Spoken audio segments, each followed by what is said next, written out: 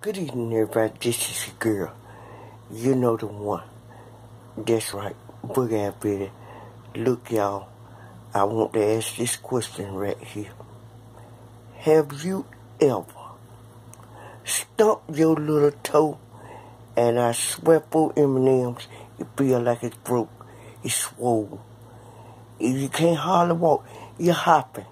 You ain't trying to let that little toe touch the ground. You can't even put on shoes, huh?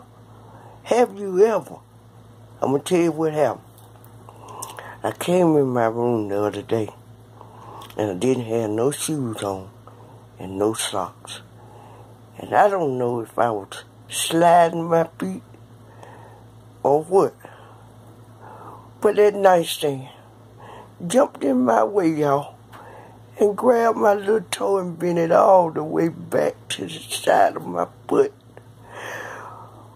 Oh my Lord. Y'all, ain't had on no shoes in two days. I've been had to wear the little shower shoes because I'm scared. I'm scared that when I get it in there, I'm going to holler. Not that the toe going to holler, but I am. I'm be screaming. I couldn't even scream when I stomped it. I couldn't. Mm-mm. I couldn't holler. But I stood still. Once I looked down at that toe and it wasn't laying on the side of my foot. I'm gonna tell you what. I had to bite my tongue. Yep, with these teeth. Well, I probably bit a hole in it, but anyway, I had to bite it. I'm tell you what, I had to bite it because some of them other words was trying to slip out on the side of the gold teeth and at that bottom they were trying to slide through that gap down there.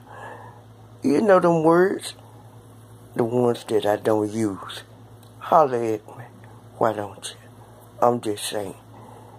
Have you ever stomped your toe and lost your mind? I did.